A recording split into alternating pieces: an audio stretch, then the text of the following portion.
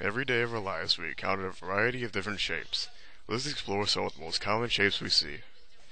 The shape you see in front of you is a circle. A circle has a round edge and can roll very, very fast. Circles have curved lines and form a round type object. This shape is called a square. A square has four sides. Squares can be used to stack on top of each other.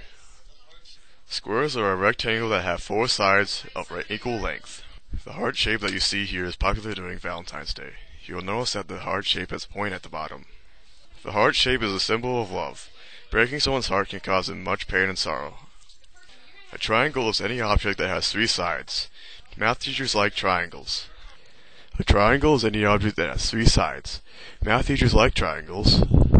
Let's hear what some people have to say about what their favorite shape is and why. My favorite shape is a square because it has four sides. My favorite shape is a circle because my shape is a circle because I like circles. My favorite shape is a square. The square may not be your favorite shape, but I hope that you can tell what squares, circles, triangles, and hearts look like.